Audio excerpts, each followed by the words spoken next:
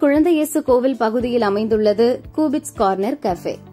Prabhakaran Nishanth ஆகிய பட்டதாரி நண்பர்கள் இணைந்து இரண்டு ஆண்டுகளுக்கு முன்பு தொடங்கிய இந்த கஃபே தான் இன்று அந்த பகுதியின் ஹாட்ஸ்பாட் பக்கத்திலேயே காலேஜ் கோவில்கள் இருப்பதால் மாணவர்களுக்கு பொழுதுபோக்கு இடமாகவும் பொதுமக்களுக்கு இளைப்பாறும் களமாகவும் இருக்கிறது.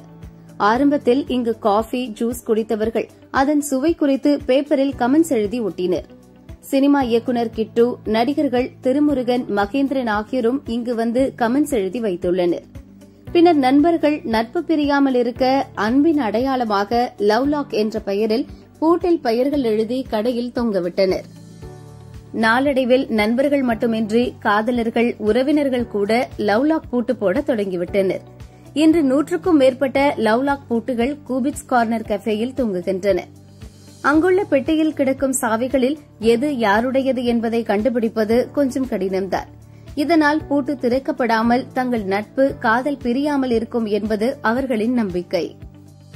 கஸ்டமர்ஸ்க்கு எல்லாமே நல்ல ஒரு ரெஸ்பான்சிவான ஒரு இது இருக்குது இங்கே பார்த்தீங்கன்னா வந்து ஃபஸ்ட்டு வந்து ஃபுட் ரிலேட்டடாக தான் வந்து ஃபஸ்ட்டு கமெண்ட்ஸ் எல்லாமே கொடுத்துருந்தாங்க. அதுக்கப்புறம் பார்த்தீங்கன்னா ஒரு பிரதர் சிஸ்டர் ரிலேஷன்ஷிப்பாக இருக்கட்டும் இல்லை ஃப்ரெண்ட்ஸாக இருக்கட்டும் எல்லாருமே ஒரு ஒரு அன்பை பரிமாறிக்கிறதுக்கான ஒரு இடமா வந்து இந்த ஸ்பாட் வந்து அமைஞ்சிருச்சு. ஏன்னா நம்மளுக்கு சுற்றி எல்லாமே பார்த்தீங்கன்னா காலேஜஸ் இருக்குது கோயில் இருக்குது எல்லாருமே ஒரு கேதர் பண்ணுற இடம் மாதிரியே ஒரு ஹாட் ஸ்பாட்டாகவே இருக்குது இந்த இடம்.